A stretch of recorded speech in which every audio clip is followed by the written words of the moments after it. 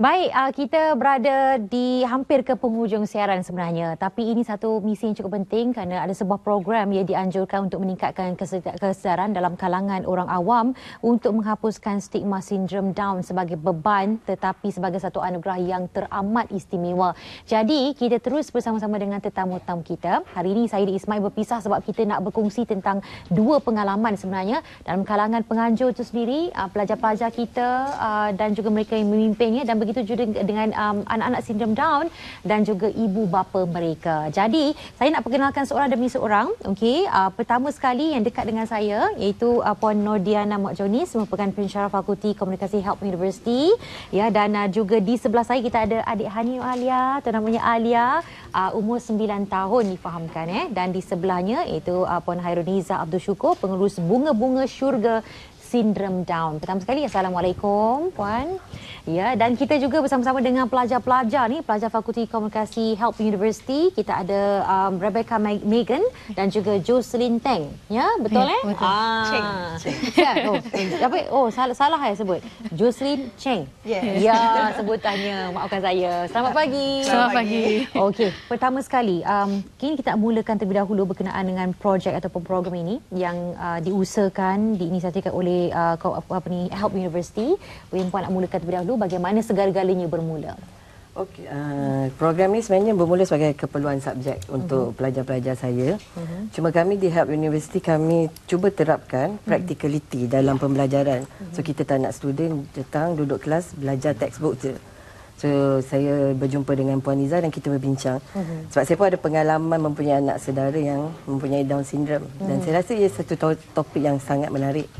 Sebab kita semua tahu kewujudan uh, kanak-kanak Down syndrome uh-huh. tapi ramai tak tahu apa yang mereka boleh. Yeah. So tujuan program ni diadakan untuk kita nak bagi tahu orang awam bahawa banyak yang boleh dilakukan oleh kanak-kanak Down syndrome ini dan hmm. sempena dengan bulan Oktober, bulan kesedaran Down syndrome ni, so kita nak fokuskan kepada apa yang boleh sebab itu tema kita Our Colors Down Syndrome hmm. Weekend. Hmm, okey, baik itu dia. Dan uh, pelajar-pelajar ni terdiri daripada berapa orang sebenarnya yang terlibat? Uh, dalam kelas kami ada 30 orang. 30. So kami terdiri daripada pelajar-pelajar daripada luar negara dan juga dalam negara. Mm-hmm. Dan uh, dua ni adalah antara orang kuat lah. Ah, orang kuat eh. Dan kalau ikut dari segi uh, yang memulakan tu daripada Puan sendiri sebenarnya yang memutarkan idea ataupun yeah. mereka sendiri sebenarnya? Uh, saya kena bagi idea. Oh, oh jadi mereka melaksanakannya? Yeah. Ah, okey. Apabila di hmm? ah, diberi ini, apa kan respon mereka? Oh, uh, sebab bila saya terangkan sebab hmm. selalunya bila saya buat program saya cakap dengan student saya kita cuba buat perkara yang boleh membantu masyarakat hmm. sebab bila you all dah graduate hmm. you all faktor kekangan masa tu yang menyebabkan kita kurang berkhidmat kepada masyarakat ya sebab lepas graduate macam-macam benda lain nak buat so bila hmm. belajar ni banyakkan aktiviti untuk masyarakat so bila kita cakap pasal dan sebab ramai yang tak aware sebab hmm. most of them dia tak ada keluarga tak pernah terlibat pun ya. uh, mm-hmm. tak pernah deal dengan kanak-kanak mm-hmm. Down syndrome. Mm-hmm. So dia orang rasa oh dia pun macam baru tahu banyak dia orang ni boleh buat. Ya, itu dia sebenarnya eh. dalam proses tu ada pembelajaran berlaku. Jadi bagaimana pengalaman uh, anda berdua boleh kongsi sikit tak uh, apabila diberi projek ini dan melaksanakannya dan membawa semuanya ni pada hari ini untuk dikongsikan bersama-sama penonton Selamat Pagi Malaysia. Ya.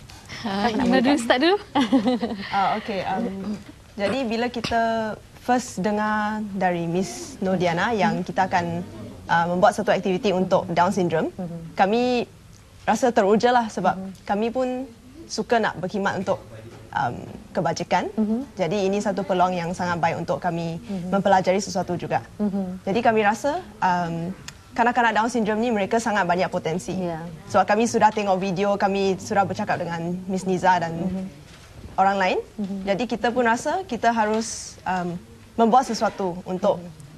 Menyebar kesedaran kepada masyarakat dan juga mm-hmm. orang lain. Ya. Yeah. Yeah. So, dulu first first kita nervous lah sebab nak handle dengan kids kan sebab sebelum ni kita ber, uh, buat event dengan kawan-kawan je. So mm-hmm. sekarang kita nak melibatkan masyarakat dalam aktiviti ni, mm-hmm. especially kanak-kanak sindrom Down ni. So kita pun like oh kena buat the best lah. Yeah. Lagipun aktiviti-aktiviti kami pun interesting juga. Mm-hmm. Lepas tu episode uh, slot lain nanti tu kita akan explain lebih daripada ah. tentang aktiviti ini. Okey, menariknya. Dan kali itulah uh, nampilkan juga bunga-bunga uh, Sugar Sinton Down untuk projek ini. Bagaimana pertama sekali mereka approach Puan sendiri untuk terlibat sama sebenarnya? Mm-hmm. Sebab saya dah kenal lama dengan Miss Diana ni. Mm-hmm. So kita ada ada experience lah. Yeah. So saya rasa gembira sebab mereka uh, nak membantu hmm. untuk menyebarkan uh, kesedaran pada bulan Oktober ni sebab bulan Oktober ni adalah bulan kesedaran Down syndrome. Hmm. So kita nak bagi uh, apa hmm. semangat pada para-para yang baru yeah. dan masyarakat bahawa anak-anak sindrom Down ni mereka boleh juga macam anak-anak yang tipikal yang lain. Hmm. Ha, mereka boleh belajar, boleh yeah. bermain. Hmm. Padahal hmm, diorang pun mempunyai keistimewaan yang tersendiri. Hmm. Ha, yang parents mesti tahu pada anak-anak mereka masing-masing. Okey, ha. baik. Kalau ikutkan sebenarnya tadi saya ada pengalaman juga lah dengar mereka bercakap, berbicara. Uh, kita tak ada nampak satu kepelikan yang berlaku di situ sebab mereka uh, sangat chirpy, ya. ceria dan sebagainya. Okey, kejap-kejap nak tanya Alia ni. Alia, uh, apa gatal eh? Gatal katanya. Okey, Alia sekarang tengok kat Ini ini gambar siapa ni sebenarnya? Ini gambar baby. Gambar baby. Ah, okey. Tengok-tengok saya. Cuba tengok gambar. Sekarang ada muka siapa tu? Ke Alia. Alia. Hmm. Alia Mami. Mami dengan ah cuba Alia buat lambai-lambai. Lambai cepat. Bye bye. Hai. Ella cobenya. Okey, maknanya ni program ni um, give him a chance I will show you that I can. Maknanya apa sebenarnya message yang boleh sampaikan menerusi drawing ini sebenarnya? Semua konsep ni semua hmm. datangnya daripada help. Okay. So memang kita menghargailah apa mm-hmm. yang diorang ni mm-hmm. nak tunjukkan yang anak-anak ni sebab saya kena exposekan mm-hmm. pada uh, mereka semua yang mereka ni boleh menyanyi, boleh berdancing, mm-hmm. boleh buat um, mathematics, mm-hmm. ah bukan counting saja, mm-hmm. mathematics. Okay. Um, secara congak, mm-hmm. boleh main bowling, uh-huh. uh, boleh melukis. Mm-hmm. Macam UN tu, ha, lukisan dia memang very kita pun saya sebagai artis uh, graphic designer pun tak ada keistimewaan macam tu. Lukis very fast. Oh ya ke? Uh, tak mau angkat okay. pen pun. Okey, uh, nak tengok macam mana rupanya, macam mana lukisan yang digambar oleh puan tadi. Apa kata sekarang ni kita terus uh, bersama-sama Is pula yang akan bersama dengan ibu bapa dan juga uh, kanak-kanak yang kita sebutkan tadi tu dengan lukisannya yang cantik. Kita saksikan. Is Ismail saya sebenarnya tak dapat nak habiskan ketawa saya sebab adik-adik ni sangat keletah ni. Satu saya tanya, sepuluh perkataan yang dijawab. Kalau kita lihat adik tu pun uh, sedang melukis. Uh, ini pun uh, baru diam sekejap. Tadi pun keletah sangat. Okey, ha tengok dia dah pandang dah. Ha bila sebut nama dia. Okey, uh, kita ucapkan terima kasih juga kepada puan uh, Hamida, puan JC kerana bersama kami. Profesor Syukur. Yes. Namanya? Profesor Syukur. Profesor Syukur. Bila dapat profesor tu? Itulah dia anak-anak hebat kita ni dan juga uh, adik kita baju merah ni namanya apa puan? You earn. Hi you earn. Hi. Ah, good morning. you earn tengah khusyuk untuk uh, melukis dan juga mewarna tu. Okey, kita nak tanya juga puan Hamidah dulu. Um, anak-anak ini dari segi cara puan membesarkan, menjaganya. Bagaimana puan melalui rutin harian? Ah, memang ah, memang bukanlah taklah payah tapi mm-hmm. kita kena buat dari seawal seawal uh, kelahiran dia lah. Okay. Macam anak saya ni saya memang uh, sekolahkan dia masa dia dia dapat sekolah pun masa umur dia 6 bulan. 6 bulan. Yes. Awalnya prof. Si Malik lah. Si Malik.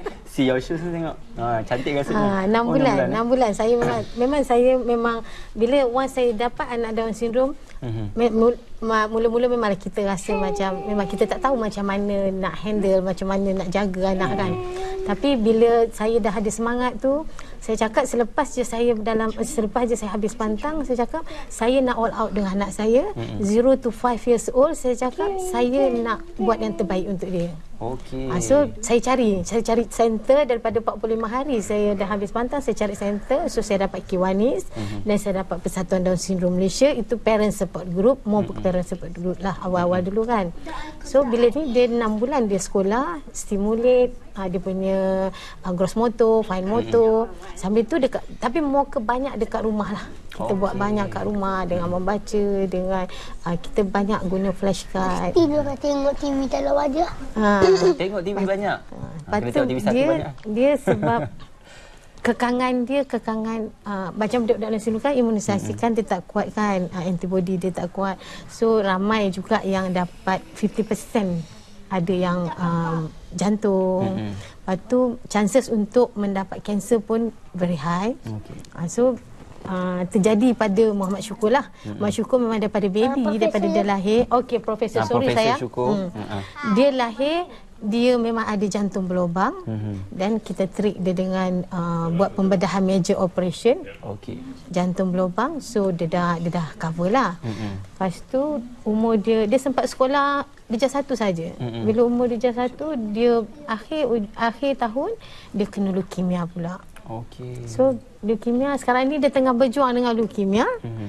dan pernah bebas kanser selama 2 tahun hmm. dan tahun lepas kanser dia berulang. Hmm. So kalau nak jaga anak dia mem- anak Down syndrome ni memang kita kena uh, jaga, kita kena treat dia seawal mungkin. Sebab hmm. memang saya memang dah ni. Kita jangan fikir dia memang kita tahu dia trisomy 21. Mm-hmm. Memang kita tahu dia Down syndrome. Tapi kita jangan fikir dia dia memang ada tiga jenis uh, tiga jenis uh, uh, Down syndrome mm-hmm. yang mosaic transcolation mm-hmm. dengan trisomy 21. Kita jangan fikir itu sebab kita tak tahu apa yang dia dapat. Kalau kita tak trap dia daripada awal, kita tak tahu apa yang dia achieve, apa yang dia dapat. Okey. Ha, so daripada dia. awal kemampuan dia kita tak tahu kemampuan dia macam mana kan. Hmm, betul. So daripada awal kita tu itu saya cakap bila saya buat 0 to 5 years old saya cakap lepas tu kita dah usaha. Hmm. Ha, itu semua Allah yang tentukan. Insya-Allah. Ha tu dia, alhamdulillah. Uh, Profesor Syukur ni marah puan kata sindrom Down dia kata Ada normal. tak? Ha, memang. Ha. Bila kita cakap dia Down syndrome dia tidak mengaku. Dia tak mengaku sebab dia, dia kata dia memang normal. Betul. Ha, sebab kita memang ajar dia daripada kecil dan dia pun dapat membaca seawal lima tahun. Wah, awal ni ha. dia baca. Awal lima tahun dia dapat dia boleh baca. Abang pun tujuh tahun boleh baca. Ha, bila saya fikir saya fikir sebab saya ada hmm. anak normal. Hmm. Bila kita ada anak normal hmm. dan anak normal kita kita memang ajar daripada hmm. awal kan. So anak dia ah, macam abang dia boleh baca dalam tiga tahun lebih dia boleh baca oh, abang dia. Hmm, hmm. So saya cakap why not saya buat dengan adik dia yang down syndrome lam, um, bila dia dapat mana hmm. bila dia boleh nak ni sama ada dia boleh uh, lewat sikit pun daripada abang tak apa tapi kan tapi lah. of, Alhamdulillah dia dapat 5 tahun sama dengan budak-budak normal kan. Okay. Normal, normal. Kita tanya uh, apa teknik rahsia yang puan gunakan itu untuk mengajar anak-anak itu. Uh, puan JC, kalau kita lihat uh, UN ni lebih kepada mewarna, melukis. Memang puan menggalakkan aktiviti ini sedari kecil. Ya, sejak dari dia umur zero age lah. Mm-hmm. Uh, macam puan juga, saya sudah hantar dia pergi Kiwanis masa dia umur lima oh. bulan. Okay. Uh, mm. Lepas tu, uh, masa sebelum umur dua tahun macam progress tak banyak. Mm. Uh, kita tapi kita usaha, kita bagi dia buat fisioterapi, op- occupational therapy. Mm-hmm. Dan uh, tiap-tiap hari saya bagi dia kertas. Mm. Ha, dari sana dia scribble, scribble. Satu hari saya nampak, eh, sudah ada lukisan keluar. Mm-hmm. Ha, sekarang, lukisan dia banyak attract banyak orang lah. Mm-hmm. Mereka suka. Okay. Dan dia pun ada jantung, uh, masalah jantung. Ada lubang. Ah, tengok tu lukisannya. Tu lukis apa tu, Yuen? Ha? Okay. Lukis apa tu? Gambar siapa tu? Ah, this one, this one. Ah, happy Who's birthday. Wah, dia tulis ah. Happy Wah, birthday Auntie Happy birthday Auntie Anne. Baju yeah. dia cute but wild.